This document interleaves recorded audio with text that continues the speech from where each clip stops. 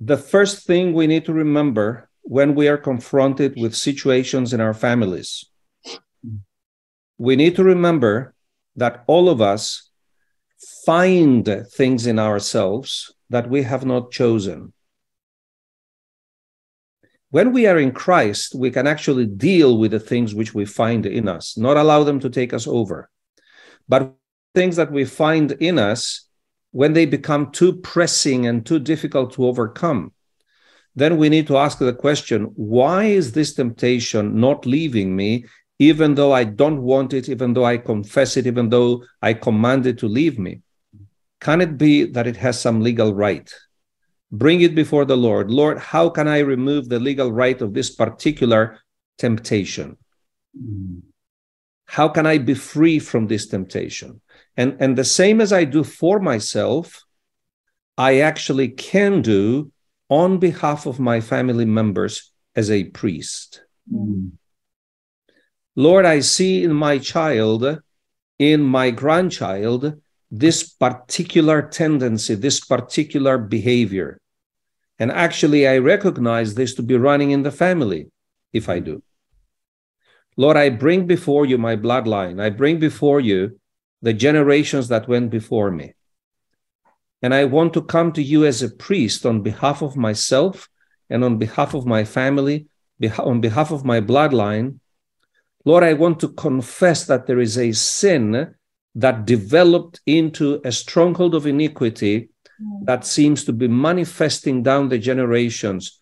Would you please, Lord, forgive this sin and eradicate it, uproot it, let the land be healed so that everybody who lives in this land may be blessed. Mm. And to the way I've pictured it is we have a family plot that we inherited and we all share it. All our houses are in this family plot. And so everybody feeds off the land. The problem is that this land has snakes and scorpions and rats and cockroaches and whatever sources of pollution of the underground water which we need to drink. Mm. So if any of us does work that changes the field, that changes the land, everybody else who lives in the land gets blessed. Mm-hmm. Does this picture make sense to you? Yeah. Mm-hmm. Yeah. Because everybody lives on the same land. Mm-hmm. Okay, different houses, mm-hmm. But we all eat of the same trees. We all eat of the same crops. We mm-hmm. all drink of the same water, even though it comes to different faucets in different houses, but the underwater the, uh, it, it's the same and it's polluted and we all drink of the same so any of us that will go out and do the work everybody will be blessed mm-hmm. and that's the role of the priesthood and in fact this is why i had felt that for today the little teaching that i thought we should do now i see there is a relevance attached to it let me share with you the screen i had in mind to talk to you about Epaphras. And um, there are three mentions of Epaphras in the scriptures. I'll start with the third in Philemon 123. Epaphras, my fellow prisoner in Christ, greets you. Fellow prisoner. And the way I understand it, whether it was literal, whether they were actually in physical prison or not, the way I understand it primarily is that they had been taken captive by Jesus in the good sense. Mm-hmm. The Lord has taken our lives captive. We are bond servants. Okay, so maybe here they were also talking about being in prison together in the same prison, but I believe it also means that we have been taken captive by the love of God to serve Him. Now, here is why this is important. Let's find out what Epaphras does for God and for the body of Christ. In Colossians 1 7, it says, As you also learned from Epaphras, our dear fellow, servant, who is a faithful minister of Christ on your behalf Okay, so the question is, what does that mean practically? The answer is in 412. Epaphras, who is one of you, a bond servant of Christ, greets you, and here is the key always laboring fervently for you in prayers, that you may stand perfect and complete in all the will of God. For I bear witness, I bear him witness, that he has a great zeal for you and for others in other places, doesn't matter. So, who is Epaphras? A man of prayer, a priest of God. What does he do? He labors fervently. And you do realize the word labor has to do with manual work. Yes. Of course, in this case, he does not dig literally, but we can think of it as doing groundwork. Mm. And think of the word groundwork in different perspectives. And one of the important groundworks that need to be done is for the healing of the land. Mm. And when the land gets healed, everybody who lives on that land gets blessed. And so, this is one of the ways to approach intercessory prayer as we know it. I personally would call it, if I had not learned by others that people use the term intercessory prayer, the terminology that I would have selected would be priestly prayers. Mm. And why would I say priestly prayers? Because that's what the priests are called to do, to pray on behalf of others. At this point, it is good to remember what is the primary, I would call it identity of Jesus. For me, this is a primary identity. And let's remember it. I'm sure you know it in Hebrews 3 1. Therefore, holy brethren, partakers of the heavenly calling, Mm. let me increase the size of the font. Consider the apostle and high priest of our confession, Christ Jesus. So, this is the dual nature of Jesus, or maybe the two sides of the same coin that give the coin the value. We have the same duality in the image of the lamb and the lion. Mm. Or if I want to follow the sequence apostle and high priest, I would say the lion and the lamb. Mm. And um, in other parts, especially of the book of Hebrews, he is called a priest forever. Uh, let me go to Hebrews chapter 5 and let me read For every high priest taken from among men is appointed for men in things pertaining to God, that he may offer both gifts and sacrifices for sins. This is the identity of Christ, as we will read on to understand with more clarity. But I believe we are called to be like Jesus in all things. Yes. I believe we all need to grow up to some degree and according to the goodwill of God for each and every one of us, and according to the calling of God for each and every one of us. But each one of us must have that little bit of lion in us and that little bit of lamb in us, or maybe actually a lot of the lamb in us. Mm. Meaning, I think we all need to be priests of God. And I believe that all of us are called, or let me use the terminology that we are reading here. I believe we have all in Christ been called, we have all in Christ been taken from among men and have been appointed for men, for human beings, in things pertaining to God that we may offer both gifts and sacrifices for sins. And I would add here within the sphere of responsibility and therefore authority that God has apportioned to each one of us. Mm.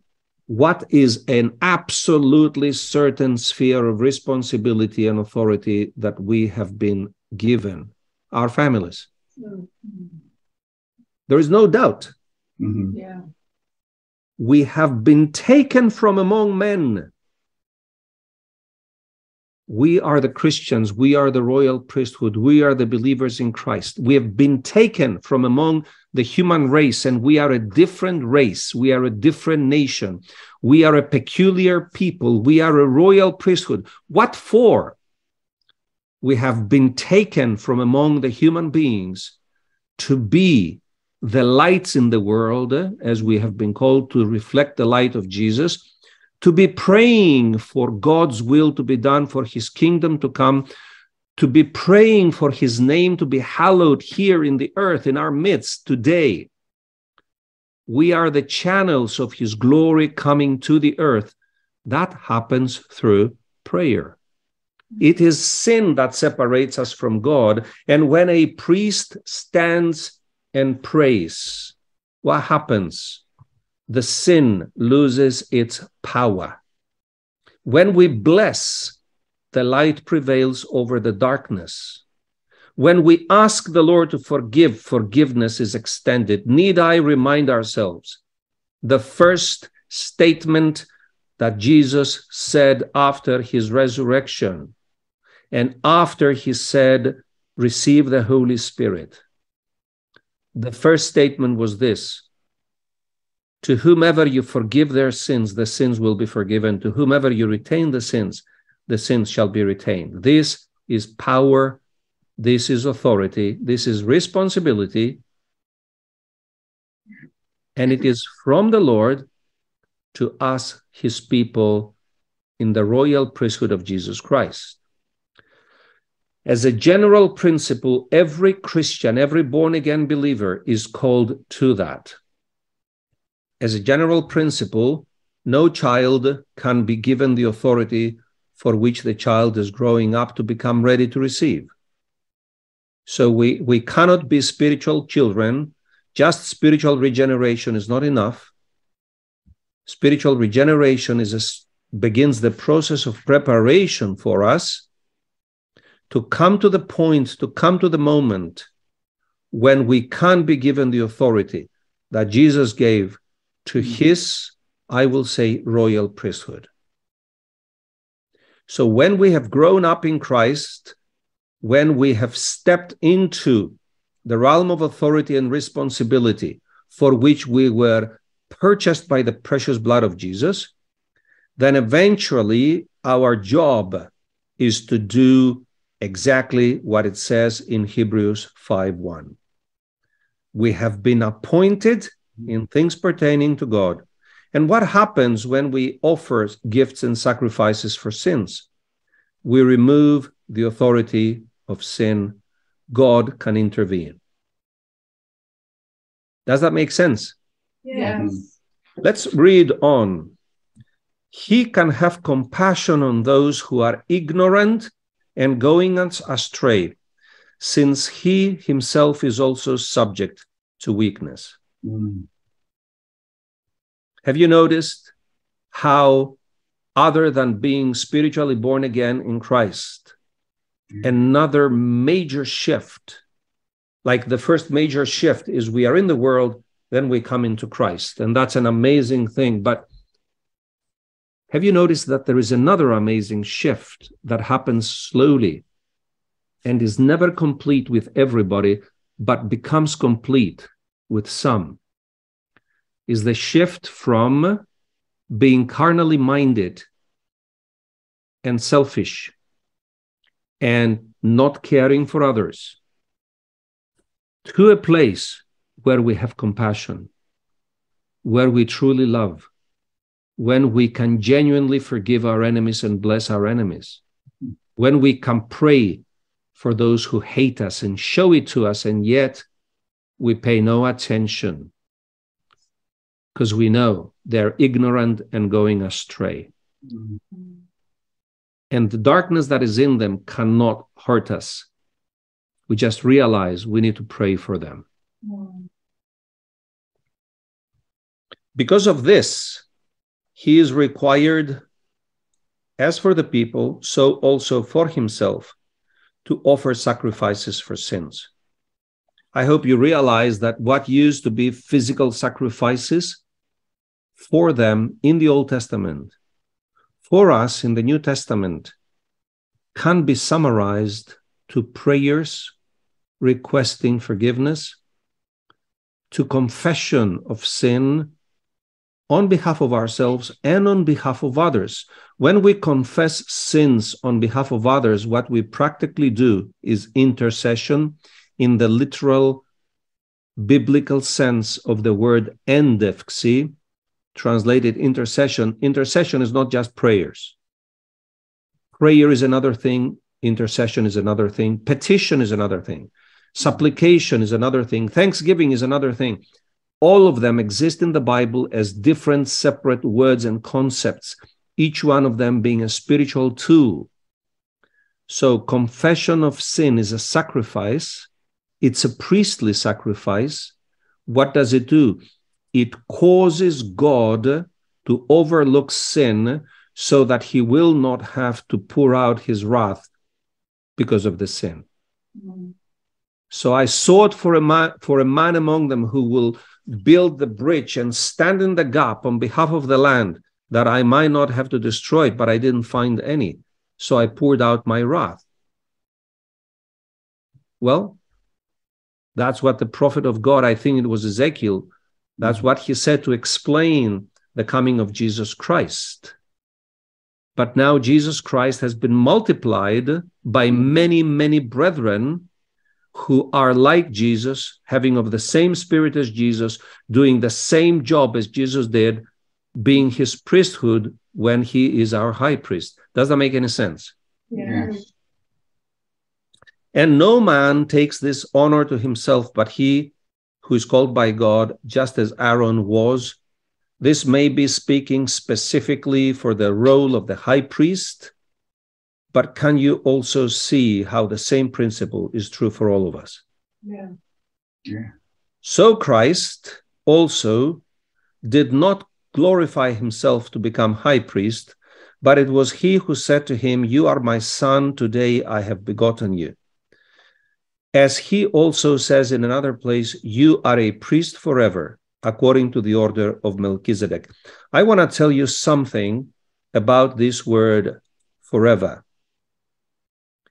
which in Greek is iston eona, which in English would translate the word century. Mm. But century literally means um, 100 years, but that's not what it means here especially it is singular. But there isn't just one eonas, there isn't just one century. I mean, every hundred years we have a new century. So what does it mean? All the translations agree that the translation is the word forever. Mm. Holman, forever, young. Ah, here it says to the age. Yeah, uh, young always tries to be literal. Anyway, the point is this this word forever, a priest forever, means before he was born in the earth as a human being, he was mm-hmm. a priest. Mm-hmm. When he left the earth and went back into heaven, he stepped back into his heavenly, timeless, ever present status and reality which was, is, and will be, because the age, that statement is symbolic of the timeless spiritual realm, which is like a, a line, a never ending line, or maybe a layer, a level, has no beginning and edge. It's just a state of things. Mm-hmm. But underneath it, the earth is rotating around the sun, and time shapes everything in which life happens. So we live in a time restricted space, and a space restricted time. Make sense? Mm-hmm. Yeah. But yesterday, today, or tomorrow, whatever time in the time and space restricted life, there is the everlasting, ever present now age. Yeah. Make sense? Yes. So he was, he is, he will be, but at any time he steps into our time and space restricted realm, that's his eternal identity. What, what does that say for us? It says that's our heavenly identity. Mm. That's what it says. Because in this space, which is not a space, but we don't have another word for it, in this heaven, in this realm, we are already seated with Jesus. Right? Mm. Mm. So if we are seated in heavenly places together with Jesus, we are outside of our time and space, space and time restricted environment. Our spirits, which are spirits of righteous men, becoming perfected. You know what I'm talking about? Yes. Mm. But our spirits are seated together with Jesus in heavenly places. So our eternal, our heavenly, our ageless identity is we together with him are priests forever in the order of Melchizedek. And when we live our lives in this time and space restricted environment, at some point we are born, at some point we are born again. Then there is a process, a long time of perfecting, so that that for which we were born, we can also become. Yeah.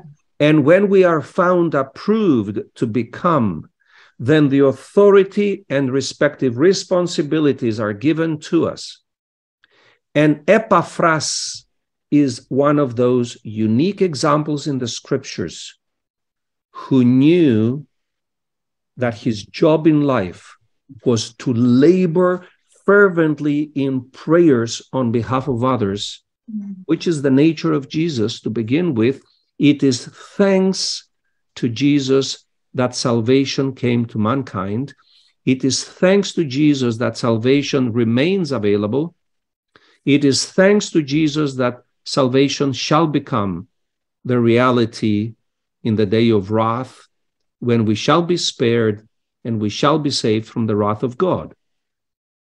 In the meantime, we have a work to do to work the land Mm. and turn it from a cursed land to a blessed land. Mm. What brings the curse? The sin. What removes the power of sin? Our prayers. What prayers? Our intercessions, specifically, and our supplications, our petitions before God. Not literally the thanksgiving, that has its own role. Mm. Not literally the worship, it has its own role.